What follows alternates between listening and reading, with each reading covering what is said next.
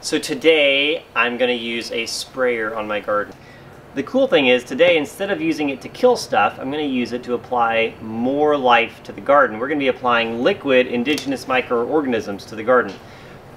When we look at a lot of the problems we face in gardening, and I don't know about you, but there's bugs, there's diseases, there's all sorts of health issues with my plants that I can face at times.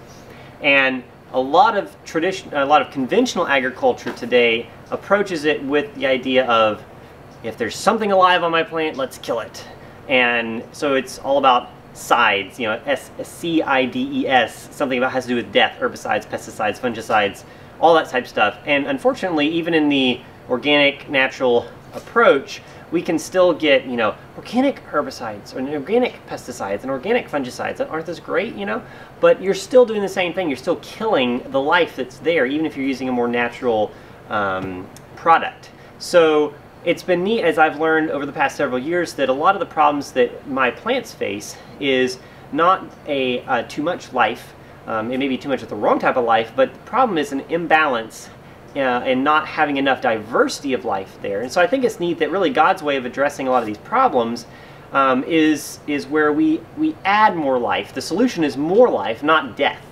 And you think, you know, it's that seems consistent to me with God's nature. You know, the solution is not more and more death, death, death, death, death, um, but it's life, adding more life, and that produces it. And it doesn't mean that there's not times that we can kill things that are there. We don't live in a perfect world, and there's going to be times that we manage stuff. If I have, if I haven't done a good job and my plants are not healthy like they should be yet, and there's something coming in eating them, then I might use a soap spray or something that's going to kill, unfortunately, you know, the, the aphids that are on the plants. But I'm, I'm not, I'm realizing that's not the solution. That's not what actually fixes the problem with aphids. The aphids are just telling me that something is wrong with my plant. Uh, but one of the ways that I like to think of the the microbe, the microbes in my soil and on my plants is that um, the, one of the best ways to protect against the bad bad microbes is through a diversity of a lot of microbes. And so think about what, where you would feel more safe uh, in a big city. Would you feel safer in a busy street with lots and lots of people or in a back alley where it's empty? Well, most of us would say probably on the busy street. Even though there might be bad people on that busy street, they're, most, they're less likely to do something bad to you because there's a lot of people that would prevent them from doing that around. And whereas on a back alley, even if it's a, a weak, wimpy kind of criminal that might try to mug you, nobody's there to stop them.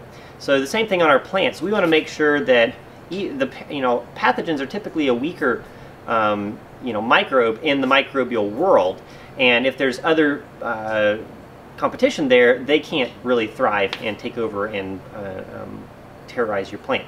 And so today what we're doing with spraying on here is we're spraying liquid indigenous microorganisms. It's a Korean natural farming um, input where we've, we've collected, we've cultured and propagated um, microorganisms from our woods here on our farm. And then over the past uh, about 48 hours, I've been brewing a tea where it's uh, inducing oxygen and has a food source, some different nutritive solutions I put in there. And so hopefully we've bred a lot of good microbes and this is a living thing. So we're gonna take it out and we're gonna apply it right away because immediately we stop um, oxygenating it. Um, it's only gonna, we're gonna have a die off of all those microbes and we're gonna apply it onto our plants, onto the soil, and just until we use up all four gallons that we made. So let's come over here and look at our little bucket of tea. So what we have, we want to be brewing not anaerobic microbes, but aerobic, because they tend to be the ones that are beneficial. So we have this nice little uh, fish tank aerator here with a couple of stones. You can hear them, all the air coming out, just diffuses it into lots of little bubbles. And unplug the sucker. There we go. These are, you can get them pretty cheap at, you know, your local aquarium supply store or on Amazon. It's obviously a good place. Then we have our little tea bag here. This is just a washcloth where I put uh, some of the IMO collection, some actually IMO 3, um, which is, uh, again, just has a lot of good indigenous microorganisms. That's what IMO stands for. Um, it's really good. I was looking back over my notes from the class that I took. It'd be great to put an aerator inside this bag, actually, right inside, so it gets air to the inside of this.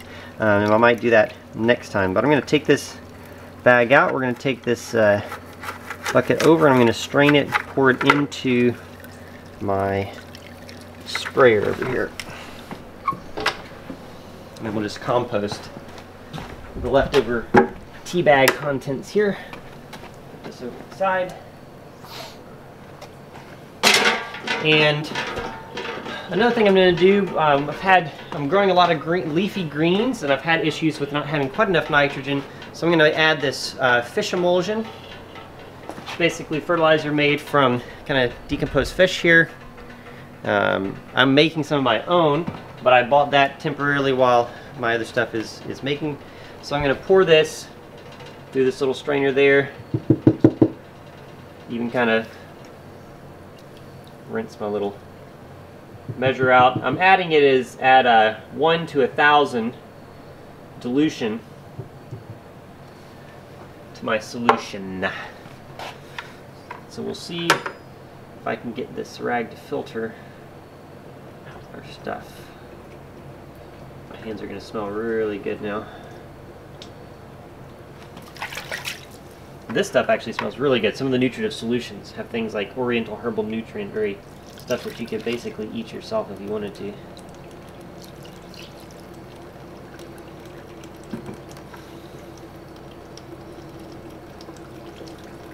There we go. It's going through. I think that fish emulsion kind of clogged it up a little bit. So we're going to take a quick break while I filter the rest of this through. I don't think y'all want to sit there and watch me the whole time. Wire strainer is a lot faster.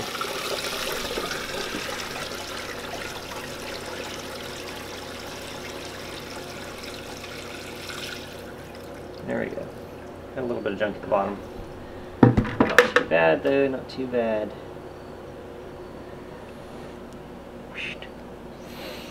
Alright. Let's get this stuff on the garden.